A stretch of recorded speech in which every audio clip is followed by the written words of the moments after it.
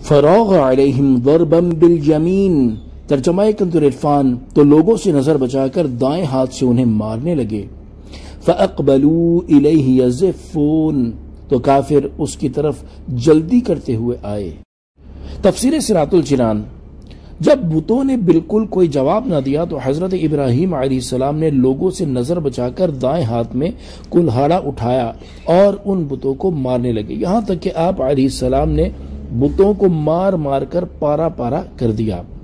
इस वाक़े की तफसील सूरह अंबिया आयत नंबर 57 और 58 में बयान हो चुकी है। फ़अकबलू इलैह तो काफिर उसकी तरफ़ आए।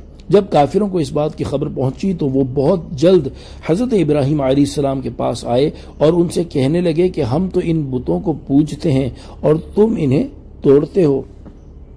कौला तबूदून तनहितून फरमाया क्या तुम इनकी इबादत करते हो जिन्हें खुद तराशते हो वल्लाहु खलक़कुम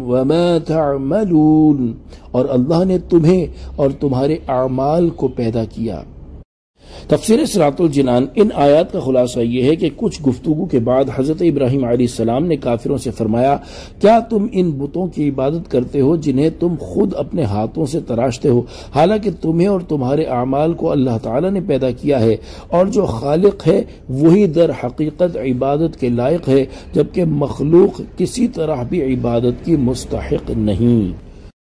कौल लहू बुनियाना फ़अलक़ूहु फिल जहीम तर्जमाए कंजुल इरफान कौम ने कहा इसके लिए एक इमारत बनाओ फिर इसे भड़कती आग में डाल दो तफसीर सिरातुल जनान हज़रत इब्राहिम सलाम का जवाब सुनकर वो लोग हैरान हो गए और उनसे कोई जवाब न बन पाया तो कहने लगे कि इसके लिए पत्थर की लंबी चौड़ी चार दीवारी बनाओ फिर इसको लकड़ियों से भर दो और उनमें आग लगा दो। यहाँ तक कि जब आग ज़ोर पकड़ ले तो फिर इन्हें भड़कती आग में डाल दो।